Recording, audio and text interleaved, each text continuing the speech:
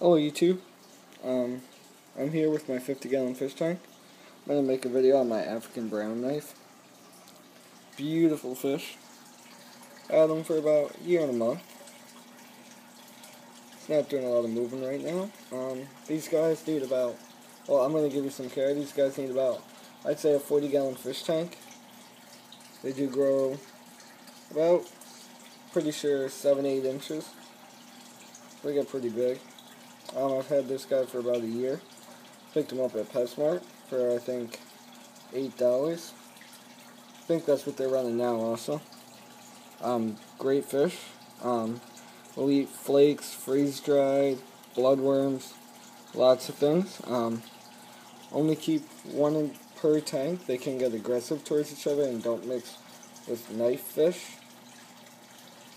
Um, they're usually more like going across the tank, but right now it's just kind of chilling. It looks like. Um, make sure you have some hiding spots for him. I have this pirate ship, but it's currently being occupied.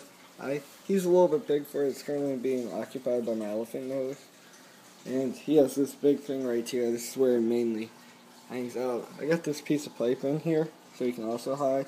I just added that when I got my elephant nose a week ago. So still kind of adjusting to it. Um, overall, great fish. Recommend you get one. Just make sure you're ready. Have a big enough tank. Maybe little. Will get big.